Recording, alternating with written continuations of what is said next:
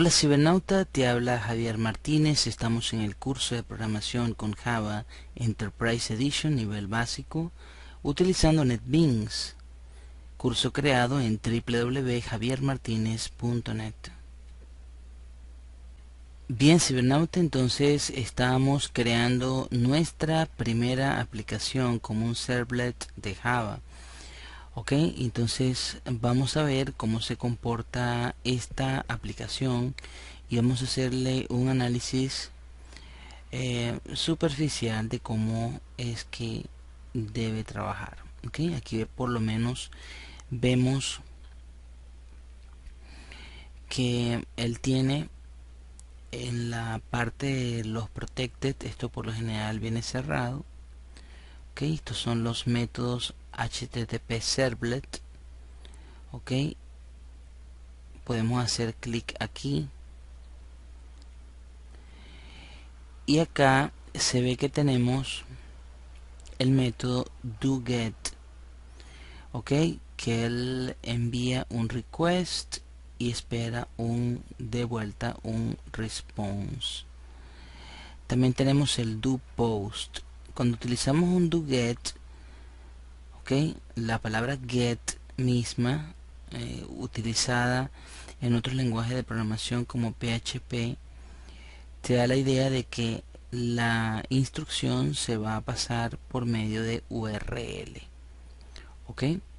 Mientras que en el post, como sucede también en el caso de PHP, la instrucción se pasa a otro formulario, a otra clase, pero no por vía URL.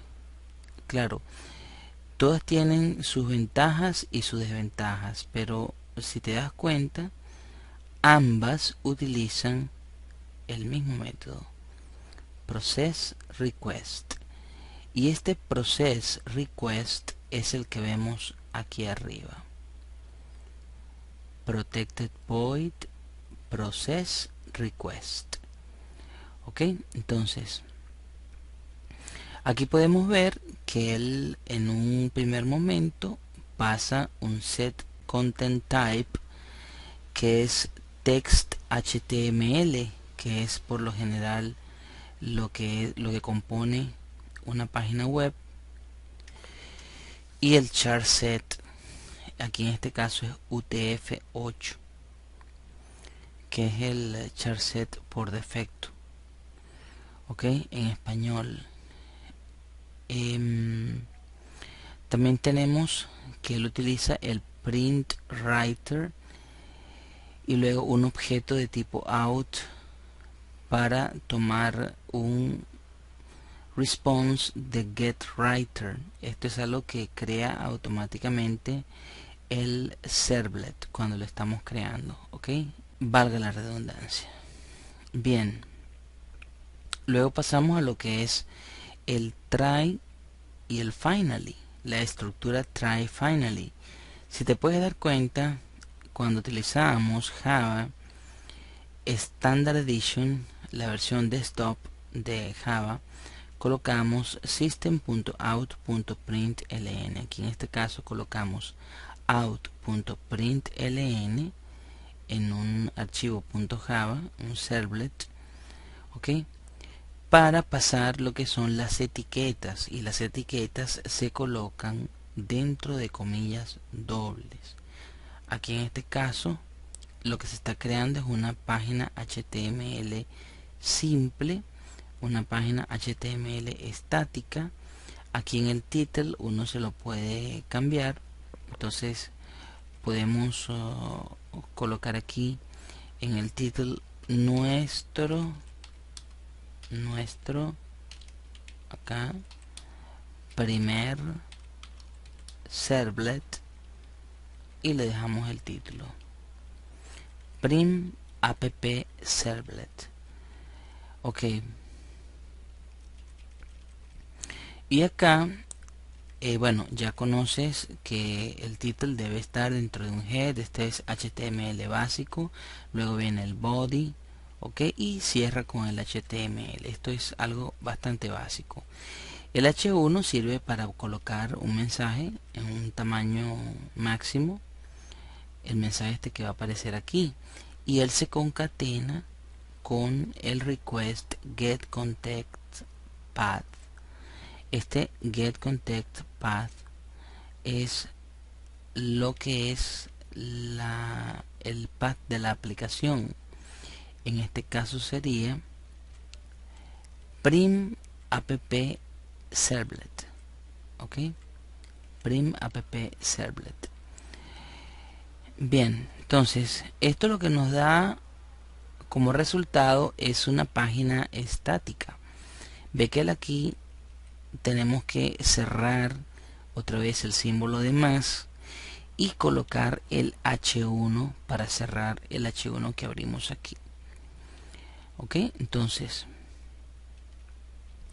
podemos colocar acá el servlet prim app servlet se encuentra en dos puntos y él te va a dar aquí la ruta el get context él lo va a pasar por un request ok y entonces vamos a guardar la aplicación con todos estos cambios que hemos hecho ok que han sido pocos en realidad y vamos a pasar a ejecutarla. Recuerde que en la primera oportunidad él se va a ejecutar va a tardar un poquito en la primera oportunidad en la primera ejecución y luego en las sucesivas aunque hagamos modificaciones ok él entonces ejecuta mucho más rápido ok aquí está haciendo el deploying y aquí vemos entonces a prim app web.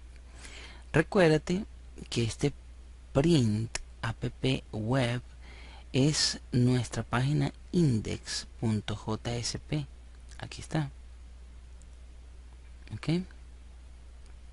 La que dice hola mundo entonces me dirás qué pasa entonces con el servlet que hemos hecho bueno el servlet que hemos hecho está en la ruta siguiente en el path siguiente lo copiamos de acá y lo pasamos al servidor. Bueno aquí tiene ya la barrita cierto entonces pegamos acá le quitamos la otra barrita.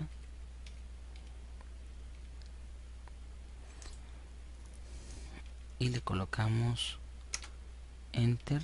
Y aquí me dice el servlet prim app servlet se encuentra en slash prim app web ve que yo le puedo colocar aquí refrescar refrescar refrescar refrescar varias veces y él va a continuar igual ok ¿por qué? porque es un mensaje estático. Ahora ¿qué pasaría si nosotros quitamos este mensaje estático y colocamos un mensaje dinámico vamos a colocarlo dentro de dos slash para que quede como comentario y aquí utilizamos un out.print ln y vamos a colocar lo siguiente. La fecha actual es y colocamos el símbolo de más vamos a colocarle aquí el punto y coma para que no se nos olvide. Y aquí vamos a llamar a una instancia new. Podemos hacerlo por un import no pero podemos también crearlo por acá directamente. new java punto útil aquí lo vemos. Útil punto epa aquí escogí el que no era. Dame un chancecito. Aquí borré le coloco punto date. Aquí lo tengo. Date. Lógicamente tengo que utilizar el date este que está acá. El de paréntesis paréntesis. Ok entonces la fecha actual es new java util date. Entonces lo que hacemos es guardar todo compilamos. Y bueno hacemos lo siguiente nos copiamos esta url para acá. La pegamos le damos a enter y ahora ve lo que te dice no la fecha actual es sábado agosto 4 y te da la hora la misma hora que tengo acá 12 y 24 de la madrugada hora de Venezuela y el año 2012 ok entonces de esta manera tú puedes saber mira aquí nos dio los segundos exactos pero aquí cuando yo refresco va cambiando los segundos cierto y bueno si esperamos un poquito vamos a cerrar aquí refrescamos nuevamente. Ya tenemos por 43 46 lógicamente nos va a cambiar. Cuando cambie aquí a 25 nos tiene que cambiar aquí los minutos también a 25 vamos a esperar que cambie acá la hora ahí cambia a 25 y aquí cambia también a 25 entonces tenemos nuestro primer servlet dinámico ok que cambia ya no es estático como estaba antes sino es dinámico como deben ser las aplicaciones web ok bien entonces vamos a seguir en el video número 4 creando otro servlet ok para seguir viendo las características de cada uno de ellos. Aquí tenemos nuestro primero ya entonces en el video 4 crearemos otro más por los momentos te doy tomando un abrazo te doy gracias por tu atención y nos veremos en el video número 4 de este curso. Hasta entonces.